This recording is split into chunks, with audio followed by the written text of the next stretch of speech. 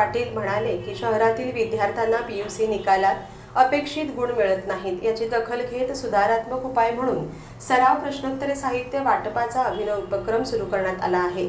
या संदर्भात मंगळवारी पत्रकार परिषद घेऊन आमदार अभय पाटील यांनी सांगितले की या उपक्रमात विविध जिल्ह्यातील सुमारे पंचेचाळीस शिक्षक तसेच शिक्षण तज्ज्ञांनी सहभाग घेऊन सराव प्रश्नोत्तरे पुस्तके तयार केली आहेत.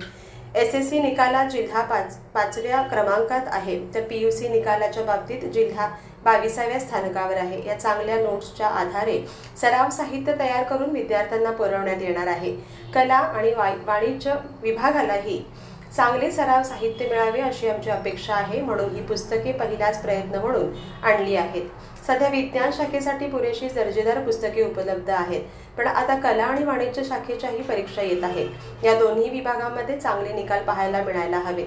हे साहित्य पी यू सी बोर्डाच्या मार्गदर्शक तत्वानुसार आणि त्याचा अभ्यासक्रम आणि परीक्षा पद्धतीनुसार तयार केलेले आहे. बेळगाव दक्षिण उत्तर ग्रामीण भागातील एकूण नऊ हजार सहाशे विद्यार्थ्यांना वाटप करण्यात येणार आहे. ते म्हणाले की बेळगाव शहरातील उत्तर व दक्षिण मतदारसंघाच्या आमदार द्वईंच्या नेतृत्वाखाली दिशा कार्यक्रमाअंतर्गत पी यू विद्यार्थ्यांना या साहित्याचे मोफत वाटप करण्यात येत आहे. सध्या सराव अभ्यासक्रमाचे साहित्य फक्त इंग्रजी माध्यमात तयार केले जाते. कला शाखेचे एक हजार सहाशे सहासष्ट वाणिज्य शाखेचे तीन हजार सातशे चौऱ्याऐंशी आणि विज्ञान शाखेचे तीन हजार नऊशे तेरा विद्यार्थी असल्याचे त्यांनी सांगितले. आमदार अभय पाटील म्हणाले की पी यू सी प्राध्यापकांच्या आ- अध्यापनाचा दर्जा सुधारावा तसेच ट्युशन माफियावर तात्काळ वचक बसावा याबद्दल गंभीरपूर्वक विचार केला जात आहे.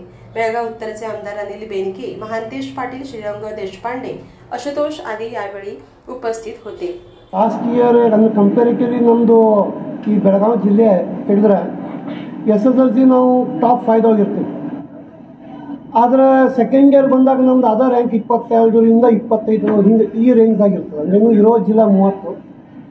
ಸೊ ಎಲ್ಲಿಪ್ಪ ನಮ್ದು ಏನು ಸಮಸ್ಯೆ ಆಗತ್ತೈತಿ ನೋಡಿದ್ರೆ ಮತ್ತು ರಿಸೋರ್ಸ್ ಎಲ್ಲ ಕರೆಕ್ಟ್ ಅದ. ಸೊ ಹಿಂಗೆ ಟೀಚರ್ಸದ್ದು ಏನು ಸಮಸ್ಯೆ ಇದೆ? ಎಲ್ಲ ನಾವು ಸ್ವಲ್ಪ ಅವಲೋಕನ ಮಾಡಿ. ಸೊ ಎಲ್ಲೋ ನಮ್ಗೆ ಏನಾಗುತ್ತೆ ಅಂದ್ರೆ ಹುಡುಗರಿಗೆ ನೋಟ್ಸ್ ಆಗಲಿ ಅಥವಾ ಒಂದು ಒಳ್ಳೆ ಕ್ವಾಲಿಟಿ ನೋಟ್ಸ್ ಪ್ರೊವಿಜನ್ ಆಗಲಿ, ಅದು ಏನೋ ಆಗ್ತಿರ್ಬೇಕಂತ ವಿಚಾರ ಮಾಡಿ ಸರ್ ಬಂದಂದ್ವಿ ಅವಾಗ ಸರ್ ಇದಂದ್ರು ಇದೊಂದು ಯಾಕೊಂದು ನಾವು ಒಂದು ಪಾಸಿಂಗ್ ಕ್ಯಾಪ್ಸ್ ಅಂದರೆ ರೆಡಿ ರಿಕನರ್ ಮಾಡಿ ಕೊಡಬಾರ್ದು ಅಂತೇಳಿ. ಸೊ ಅದಕ್ಕೆ ಒಂದು ರೆಡಿ ರಿಕನರ್ ಮಾಡಿದ್ವಿ ನಾವು. ಸೊ ಅದು ಎಲ್ಲ ಸ್ಕೀಮ್ನ ಮಾಡಿದ್ವಿ. ಈಗ ಏನಾಗ್ತದೆ, ಎಲ್ಲ ಜಿಲ್ಲೆ ಸೈನ್ಸ್ ಆಗ್ತದೆ ಬಟ್ ಆರ್ಟ್ಸ್ ಕಾಮರ್ಸ್ ಇದ ಫಸ್ಟ್ ಟೈಮ್ ಇದು ಮಾಡಿದ್ದೆ. ಕರ್ನಾಟಕದಾಗ ಎಂದೂ ಇವತ್ತಿಗೂ ಯಾರೂ ಆರ್ಟ್ಸ್ ಕಾಮರ್ಸ್ ಮಾಡಿಲ್ಲ.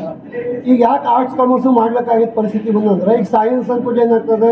ಸೆಕೆಂಡ್ ಇಯರ್ ಒಳ್ಳೆ ಪರ್ಸೆಂಟೇಜ್ ಸಿ ಇ ಟಿ ಇರ್ಬೋದು, ಅಥವಾ ನೀಟ್ ಇರ್ಬೋದು, ಅಥವಾ ಜೆ ಇ ಇರ್ಬೋದು. ಸೊ ಅದೇನಾಗ್ತದೆ? ಪರ್ಸೆಂಟೇಜ್ ಮೇಲೆ ಅವ್ರಿಗೆ ಅಲ್ಲಲ್ಲಿ ಅವರು ಸೀಟ್ ಅಲಾಟ್ಮೆಂಟ್ ಆಗಿ ಒಂದು ಒಳ್ಳೆ ಪ್ರೊಫೆಷ್ನಲ್ ಕೋರ್ಸ್ಗೆ ಹೋಗ್ತಾರೆ. ಈಗ ಆರ್ಟ್ಸಿಗೂ ಹಂಗೆ ಬಂದದ್ದು. ಈಗ ಲೈಕ್ ಲಾ ಆಗ್ಬೋದು, ಅಥವಾ ಯಾವುದೋ ಆಗಲಿ ಕಾಮರ್ಸ್ ಒಳಗೆ ಸಿ ಪಿ ಟಿ ಆಗ್ಬೋದು ಸಿ ಎ ಆಗ್ಬೋದು ಸಿ ಎಸ್ ಇದು ಯಾವುದೂ ಆಗ್ಬೋದು. ಸೊ ಅದಕ್ಕೂ ಒಂದು ಏನಾದ್ರೆ ಸ್ಪರ್ಧಾತ್ಮಕ ಪರೀಕ್ಷೆ ಸಾಕಷ್ಟು ಬಂದವು ಕಾಮರ್ಸ್ ಮತ್ತು ಆರ್ಟ್ಸ್ ಸೊ ಅದನ್ನು ನಾವು ಗಮನದಲ್ಲಿ ಇಟ್ಕೊಂಡು ಈಗ ನಾವೇನು ಮಾಡಿದ್ವಿ? ಆರ್ಟ್ಸ್ ಕಾಮರ್ಸ್ ಸೈನ್ಸ್ ಮೂರು ಮಾಡಿದ್ವಿ.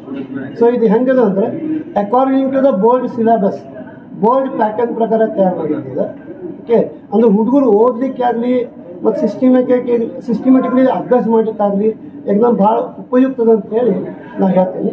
ಮತ್ತು ಡೆಫಿನೆಟ್ಲಿ ಇದನ್ನು ಇದನ್ನು ರೆಫರ್ ಮಾಡಿದರೆ not only passing up to eighty marks we can sure ಯಾಕಂದ್ರೆ ಏನಂದ್ರೆ ಇದನ್ನು ತೆಗೆದವ್ರೇನಿದೆ ಎಕ್ಸ್ಪರ್ಟ್ ಏನಿದ್ದಾರೆ, ಅವರು ಎಲ್ಲ ಅನುಭವಿ ಟೀಚರ್ಸ್ ಇದ್ದಾರೆ.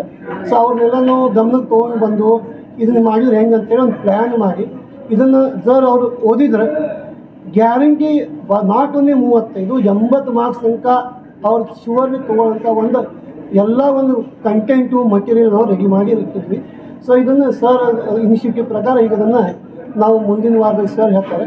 ಅದ್ರ ಪ್ರಕಾರ ನಾವು ಹುಡುಗರಿಗೆ ಒಂದಂದ್ರೆ ಹೇಳ್ಬೇಕಂದ್ರೆ ಇದು ಫ್ರೀ ಆಫ್ ಕಾಸ್ಟ್ ಇದನ್ನು ಯಾವುದಕ್ಕೂ ನಾವು ಒಂದು ಅದು ಒಂದು ಅಯ್ಯ ಪೈಸಾ ತಗೋತಾ ಇಲ್ಲ ಸರ್ ಸರ್ ಇನ್ಸ್ಟ್ರಕ್ಷನ್ ಪ್ರಕಾರ. ಅದನ್ನು ಸರ್ ಫ್ರೀ ಆಫ್ ಕಾಸ್ಟ್ ಎಲ್ಲರೂ ಕೊಡೋನು ಯಾಕಂದ್ರೆ ಏನದ ಇದು ಎಲ್ಲರಿಗೂ ಮುಟ್ಟಬೇಕು. ಯಾಕಂದರೆ ಸಾಕಷ್ಟು ನಮ್ಮಲ್ಲಿ ಬಡವರು ಇರ್ತಾರೆ, ಆರ್ಥಿಕವಾಗಿ ಹಿಂದುಳಿದಿರ್ತಾರೆ ಅವ್ರಿಗೂ ಮುಟ್ಟಲಿ. ಎಲ್ಲರಿಗೂ ಒಂದು ಉಪಯುಕ್ತ ಆಗಲಿ, ಒಂದು ಸಮಾಜಕ್ಕೆ ಚಲೋ ಆಗಲಿ, ಹುಡುಗರು ಒಳ್ಳೇದಾಗಲಿ, ನಮ್ಮ ಬೆಳಗಾವಿ ಜಿಲ್ಲಾ ಒಂದು ಚಲೋ ರ್ಯಾಂಕ್ ಬರಲಿ ಅಂತೇಳಿ ಅದೊಂದು ದೂರದೃಷ್ಟಿ ಇಟ್ಕೊಂಡನ ಇದನ್ನು ಸರ್ ಅಂತ ಇದನ್ನು ಮಾಡಿ ಅಂತ ಹೇಳಿದ್ರು. ಅದಕ್ಕೆ ನಾವು ಮಾಡಿದ್ದೀವಿ.